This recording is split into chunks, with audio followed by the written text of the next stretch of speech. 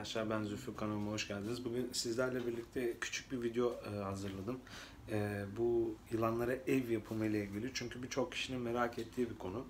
E, o yüzden sizlere kısa bir video attım. Ben yuvayı hala hazırda yaptım zaten. E, şimdi soran olacak abi niye bize göstermedin diye. Yapımı çok kolay. E, ben sadece videonun uzun olmasını istemedim. O yüzden e, size böyle kısa bir video hazırladım. Ee, ve size malzemelerini e, paylaşacağım sizlerle. Ee, o yüzden bu şekilde kısa bir video almak istedim. Neler gerekli, neler yapabiliriz, e, ne şekilde bir kurum yapabiliriz diye. E, bu videoda sadece onu göstereceğim sizlere. Çünkü haftaya e, haftaya olmayabilir. Zaten haftaya girdik. E, bu hafta içinde bir tane daha bir iki yaşında bir e, erkek bal partinimiz gelecek. E, ona bir yer yaptım. Yapmışken de sizlerle bunu paylaşmak istedim. Umarım beğenirsiniz. E, malzemeleri geçecek olursak da sizlere bir sonraki çekimde arkadaşlar. E, yeni yaptığımız yuva şu. E, sizlere video içinde anlatacağım e, neler gerektirdiğini.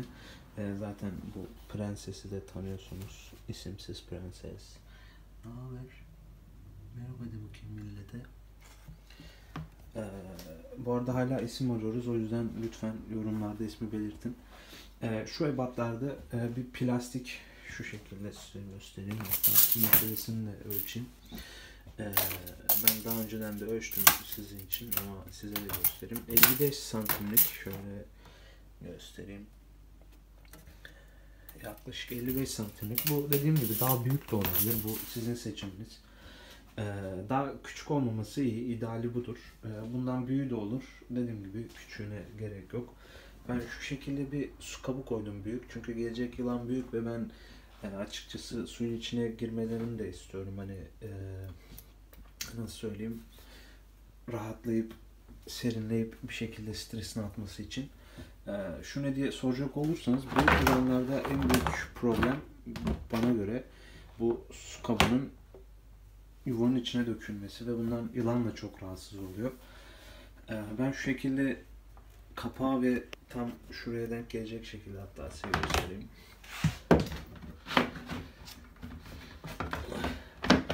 Şu şekilde bir kilit sistemi yaptım hatta baktığınız zaman gözüküyor. Ee, yılan bunu deviremiyor arkadaşlar.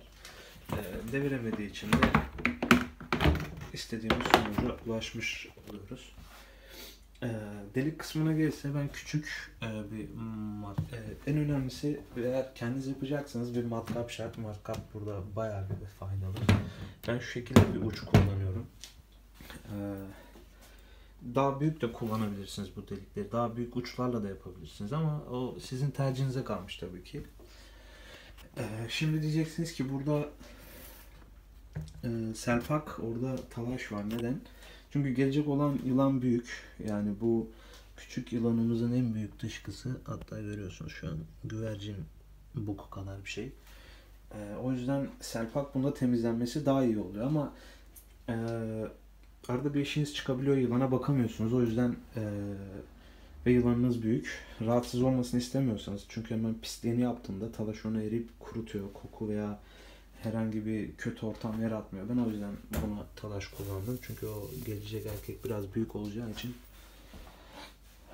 olay şu anlık bu arkadaşlar. Dediğim gibi bir plastik kap. Ve şu şekilde bir malzemeler de almanız lazım. Ben bunları daha detaylı söyleyeceğim çünkü şu an çok karışık. Sizin de gördüğünüz gibi her yer her yerde. Ee, şu şekilde size bir tane e, Hetmet dedikleri ısıtıcı bir ürün var. Bu olmazsa olmaz çünkü biliyorsunuz yılanlar sıcağı sever. Bu çok düşük miktarda böyle ısıtıcı veren bir ürün. Bunu daha farklısını da bulabilirsiniz. Daha değişik modelleri de var. Ee, bende şu an 3 tane var. Bir tanesi hala altında ısıtıyor. Diğeri de bizim prensesimizin altında. Şu şekilde bir ısıtıcı. Hatta ben size şöyle reklamını da yapayım. Benden olsun. E, bu şekilde ısıtıcı almanız şart çünkü e, içerideki nem oranını ayarlayabilmek için. Bir de en önemlisi şurada şu şekilde bir makine var arkadaşlar. Bu makine içerideki e, sıcaklığı kontrol ediyor. Biz 28 ile 30 arasında bırakmışız. Bu makine olmazsa olmaz çünkü daha da ısıtılabilir. Hayvan strese de girebilir. Bu makine olduğu zaman hatta bunun şöyle bir ucu var. Şu şekilde ısıya duyarlı.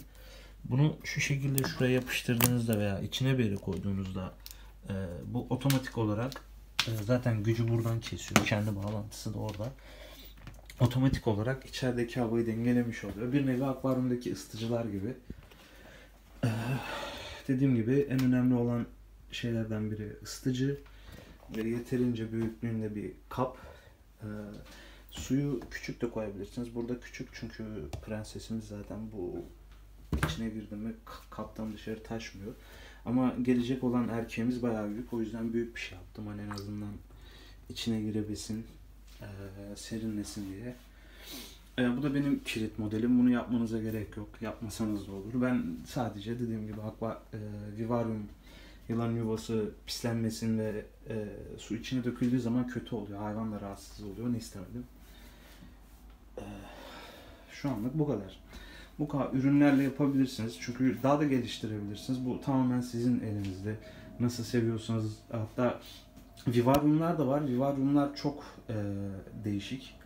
E, onları da alabilirsiniz. Hatta piyasası bayağı var.